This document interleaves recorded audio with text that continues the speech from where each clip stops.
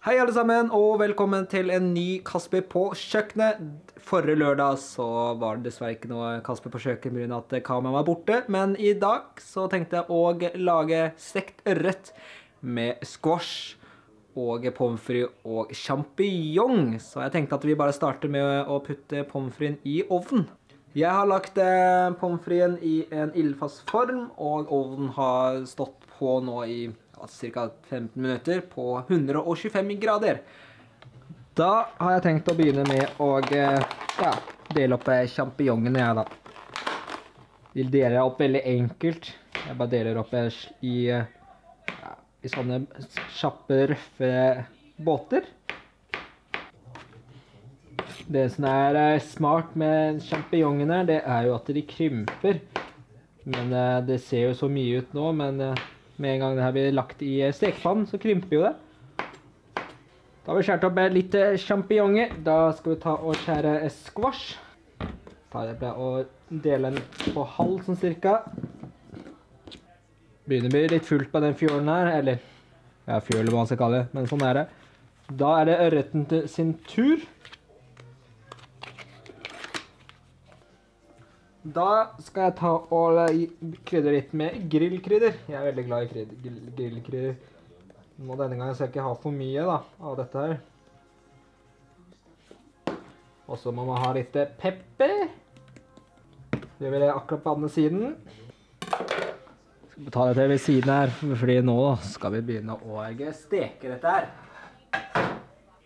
Ok, tid for å putte opp litt smør.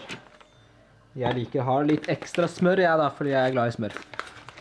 Da jeg satt platen på maks, så er det egentlig bare å vente til at smøret eh, smelter.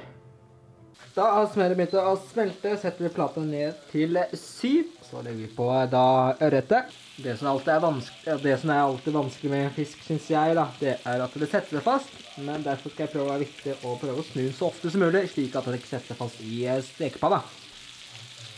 Grunnen til jeg har litt ekstra smør oppe nå, er fordi jeg skal steke sjampinjongen og squashen etter eh, at eh, blir har blitt ferdig. Fordi jeg liker den kraften som kommer ut i smøret, da.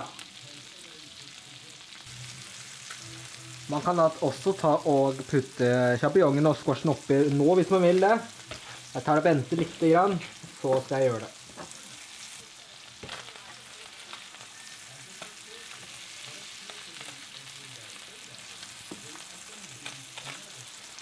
Da putter jeg oppi sjampinjongen, champignonen, squashen.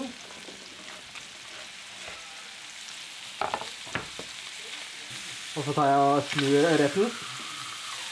Her er det bare viktig å ta og egentlig bare blande ut, eller fordele slik at ikke det blir brent her da. Så det kan gå ganske kjapt. Nok en gang så skal vi ta og snu denne ørreten der. Og så tar vi og eh, passe på at uh, dette her ikke blir brent, da. Sjampinjongene og squashen uh, er ikke jeg så veldig glad i å steke for lenge, så jeg skal snart ta de over til en tallerken.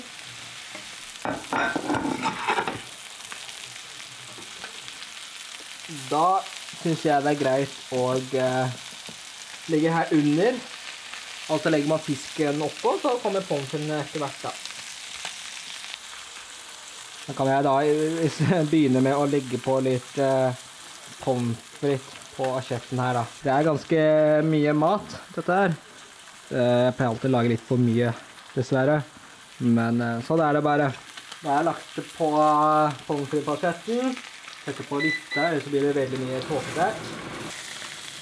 Men her var gjennomstekt, så derfor tar jeg bare og eh, legger det på asjetten.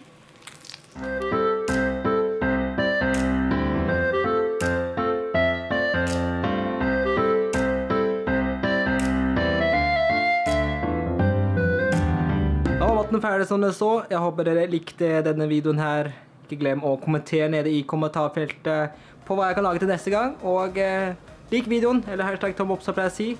Og har du ikke abonnert, så er det bare å gjøre det, fordi det setter jeg stor pris på. Så snakkes vi til en ny video. Ha det bra.